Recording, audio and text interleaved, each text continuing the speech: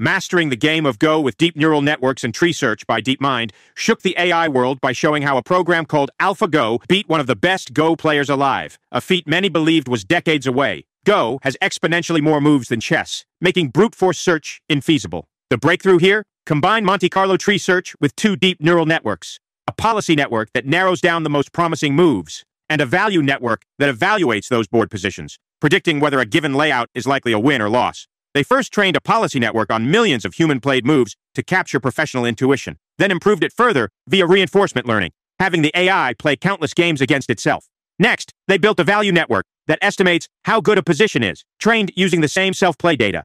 Finally, everything is plugged into Monte Carlo tree search, enabling more efficient look-ahead and deeper strategic planning. In older Go engines, the AI would laboriously check huge trees of possible outcomes. AlphaGo cuts down the search space dramatically, First, by focusing on the top moves suggested by the policy network, and then quickly scoring those states with the value network.